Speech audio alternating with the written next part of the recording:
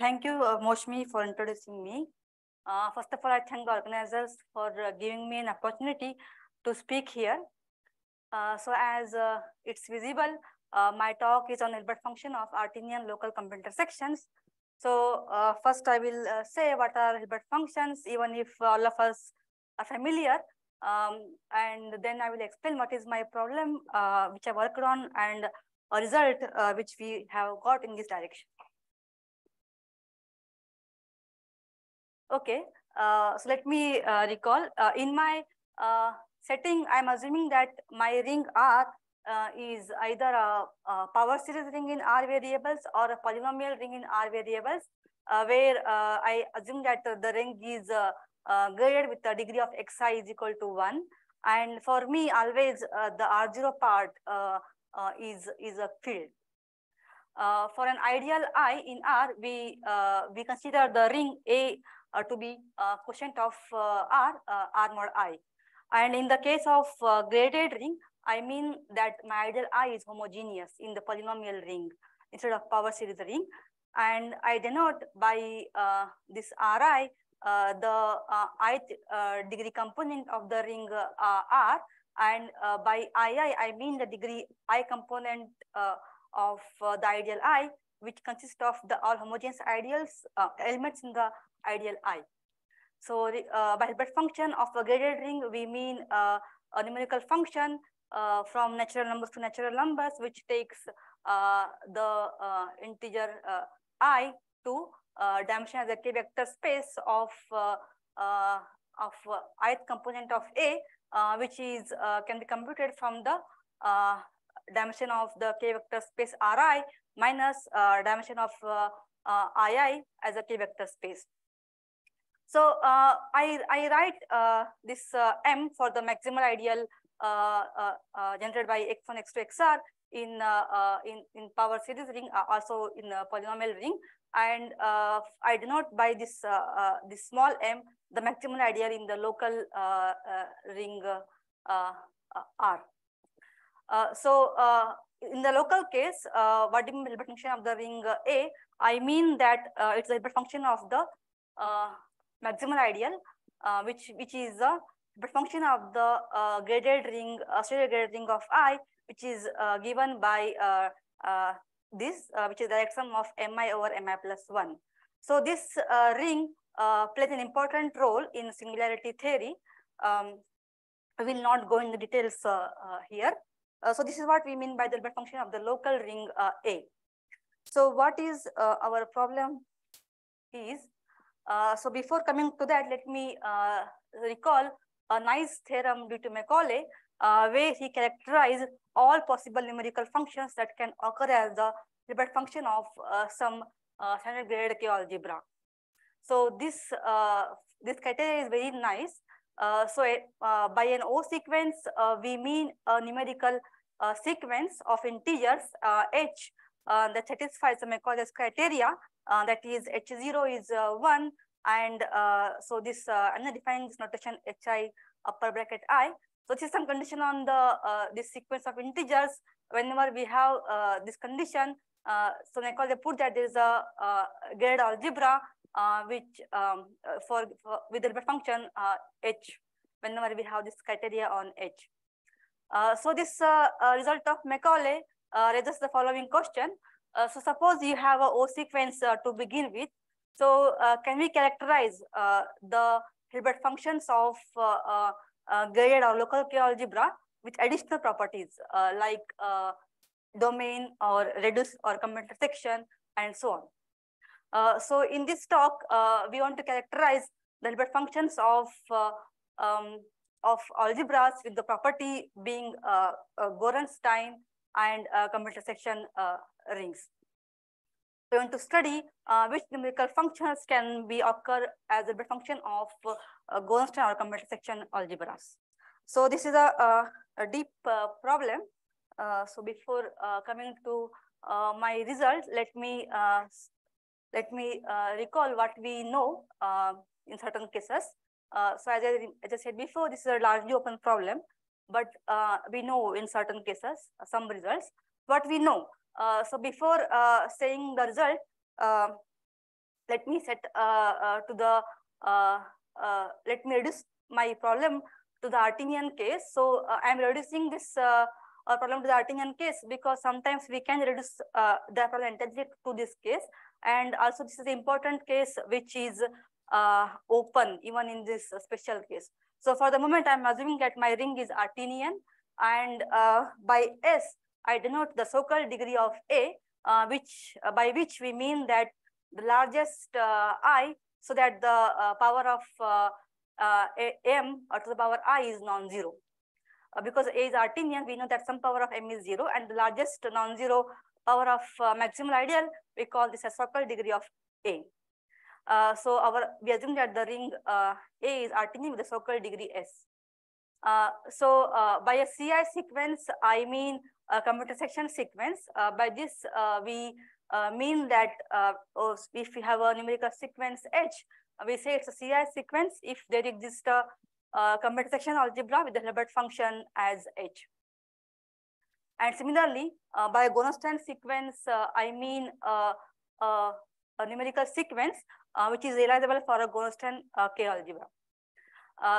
so Macaulay, against the classical result, classified the numerical sequences that can occur as the function of uh, complete intersection algebra or uh, Gorenstein K algebra uh, because they're equivalent in this case when we have uh, uh, codimension 2 here. Uh, so uh, he proved that uh, the sequence of, of this form where we are in the codimension 2 case, 1, 2, and this has to be 1 because I'm assuming that my ring is Gorenstein. So then this is a this is a, a sequence if and only if the difference between the successive HI is at most 1. Uh, so this is the uh, result uh, known uh, to Macaulay since long back. Uh, but um, so when we go to the higher, uh, any question? Yeah. So when we go to the higher codimension instead of two, if you look at the higher codimension, what we know. Uh, so here there are many uh, things are uh, not yet known. For example, this is a result of in the when you take one three sequence, so codimension three case, so here, uh, uh, due to a, a, nice result of Buchsbaum and Eisenbud, uh, we can prove the following result in the graded setting, by which we mean that our algebra that we realize is a graded ring. so what we know is the following. suppose you have a, a numerical sequence, 1, 3, uh, and so on. Um, then uh, this is realizable by a Gorenstein K algebra, uh, which is if and only if, first of all, uh, this has to be symmetric uh, H vector. Uh, and moreover, if you look at the difference of the numerical sequence obtained by taking the difference of successive terms here, 1, 2, h2 minus h1, and so on, like more generally hi minus hi minus hi minus 1, uh, then this numerical sequence should be again an O sequence. So whenever, uh, this is if and only criteria, that means whenever we have a uh, numerical sequence, which is a O sequence satisfying these two conditions, uh, it's realizable by a graded Gorenstein K algebra. Uh, uh, and once you go beyond codimension 3, so, so many things are open. And now, once I go to the complete intersection case, once you go beyond codimension 2, they are not equivalent to each other. but um, but here in the case of graded complete intersection uh, rings, we know how exactly how the Hilbert function uh, look like. This can be easily written using the degree of uh, the uh, of the generator of the ideal I and the embedding dimension. So this is pretty easy. Uh, but now if I just remove the assumption of uh, graded here instead of ask the question for the local case, this is completely open even in the uh, codimension 3 case. So that's what our problem is about. Uh, so uh, I'm coming to the local case now. So we can we ask the following question: uh, Which uh, numerical sequence can occur as a Hilbert function of Artinian local complete intersection K algebra? or more generally Gorenstein K algebras. So this is a widely open problem, uh, of course, for any codimension, and nothing is uh, known, uh, uh, almost nothing is known in, in codimension 3 also. Uh, so what we do is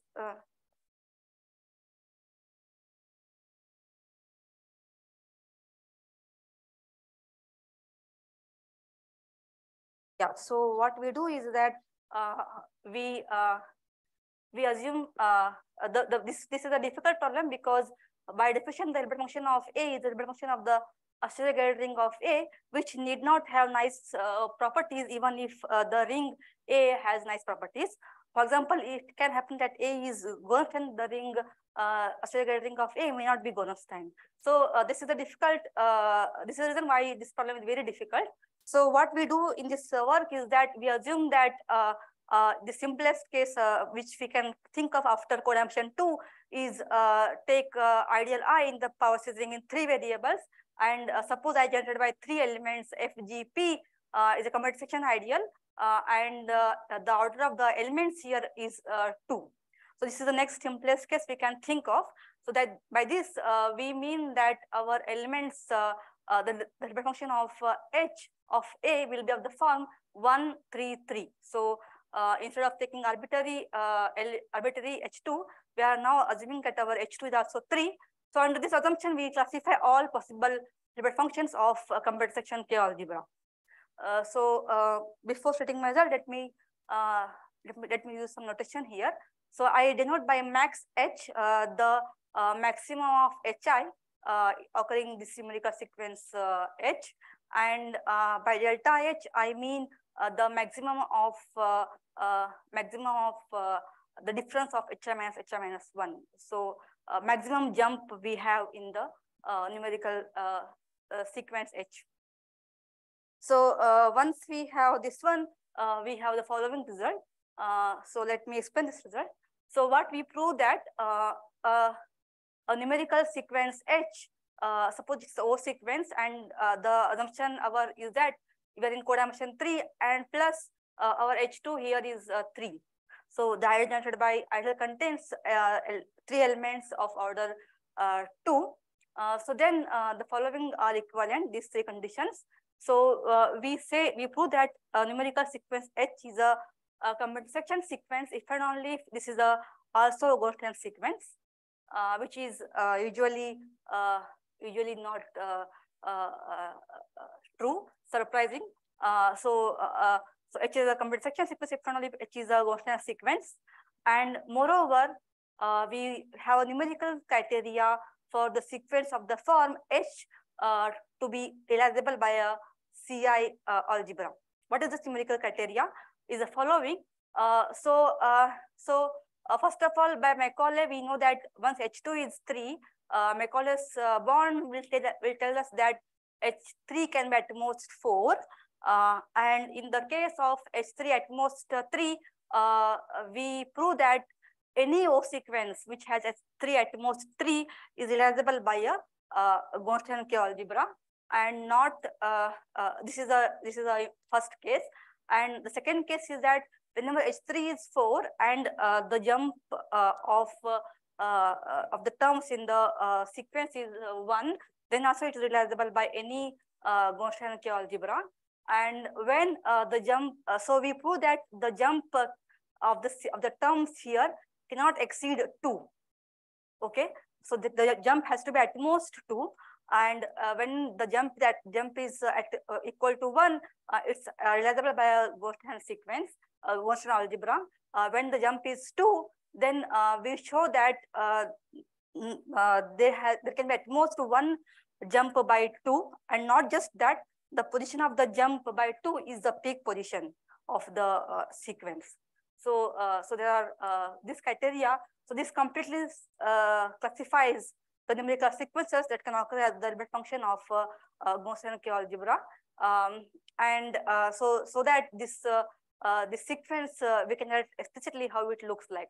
So it will have, suppose uh, D is the maximum of integers that occurs in the numerical sequence h, then uh, then there will be it will increase up to uh, up to it reaches d, and then there's a drop by two at the peak position. That means uh, at the uh, after d it it, uh, it, descends to d minus two, and uh, and after that there is no jump by two in the numerical sequence.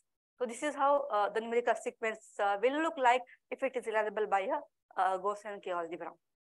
So let me uh, come to some examples uh, before uh, commenting on its proof. yeah, maybe I'll just say examples.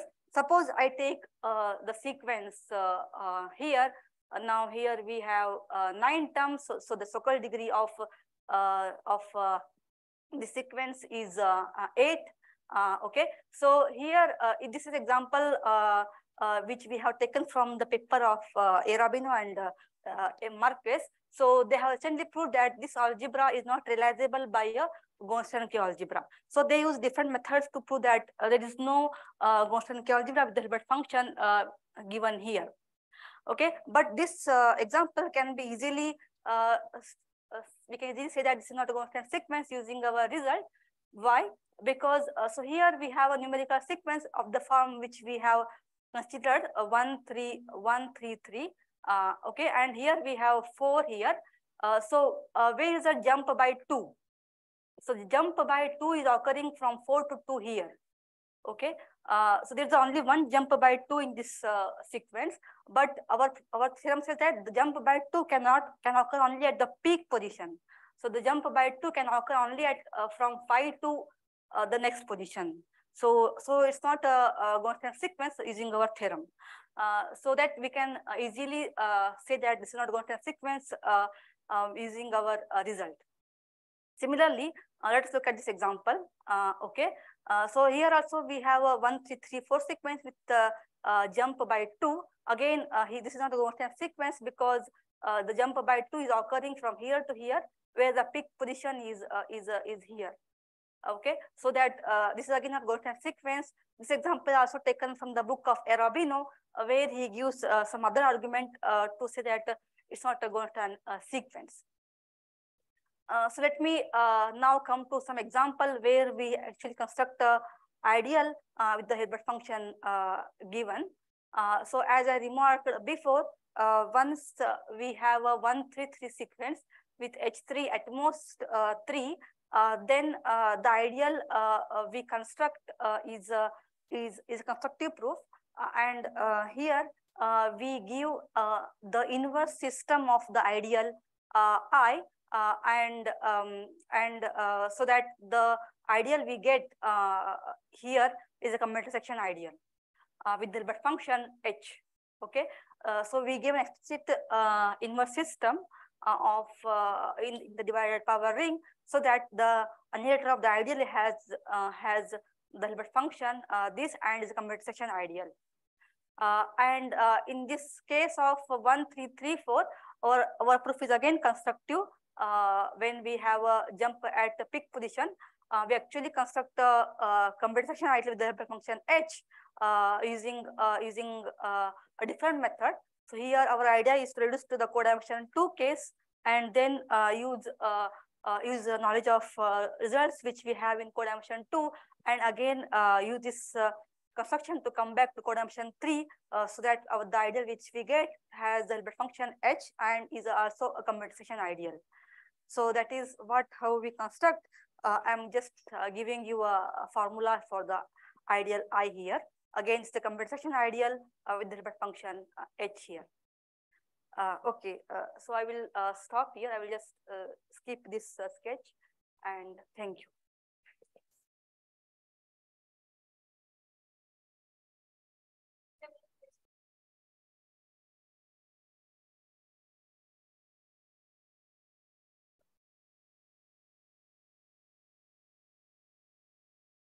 Uh, yeah yeah, in our theorem, we actually uh, can construct the ideal with the liquid Hilbert function. Not in general, not in general, but in our result, yes, we can. Yes, there's an algorithm. Yeah.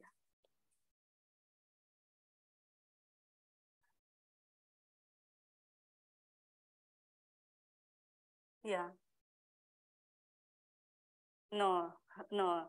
Actually, H2, H3 is equal, H2 equal to 3 was very special case where, uh, where we can also, uh, also see how the I, the I2 part will look like. The FGP uh, in the ideal I, they are of uh, particular nice form. So that's where we can do many reductions to codimension 2 case.